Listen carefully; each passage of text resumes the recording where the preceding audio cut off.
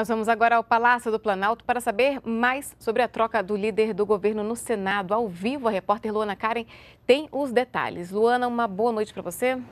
Boa noite, Aline. Boa noite a todos. Em nota divulgada esta tarde, a Secretaria de Governo da Presidência da República informa, abre aspas, em razão dos fatos que tomamos conhecimento no dia de hoje em relação ao líder do governo no Senado, o senador Delcídio Amaral, informamos que será escolhido novo líder na próxima semana, respondendo interinamente nesta semana os vice-líderes do governo naquela casa.